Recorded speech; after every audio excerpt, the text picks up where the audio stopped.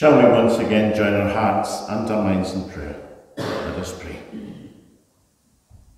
Lord, life can be hard. It can be confusing. It can be hurtful, nasty, fearful, and terrible, tiring. Lord, we could give up, but we don't. Because we know that life can be good, it can be fun and beautiful, it can be joyous and full, full of love and happiness.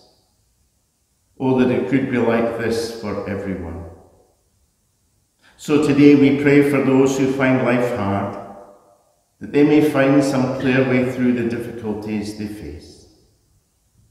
We pray for those for whom life is full of hurtful words and nastiness. May people learn to be less hurtful, less nasty. We pray for those who live in fear and in terrible conditions May a way be found for all to live in peace and in comfort. We pray for those for whom life is tiring.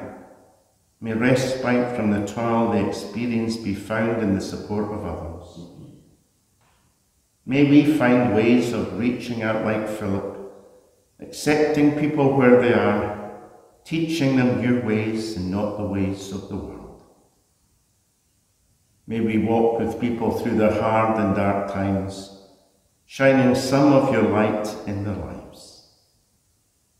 Help us, Lord, as we remember your word.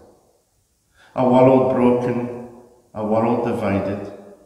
We pray for the people of India struggling with COVID.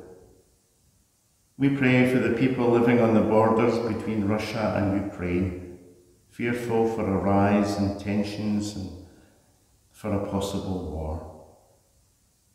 We pray for the people of Brazil, trying to cope with unusual leadership to fight a COVID infections.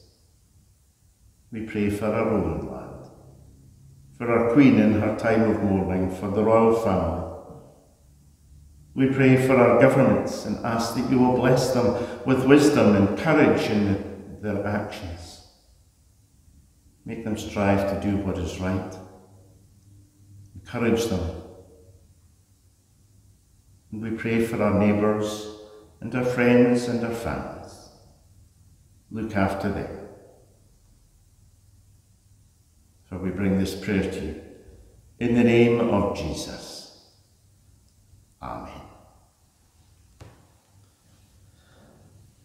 Our final piece of music is Shine, Jesus, Shine.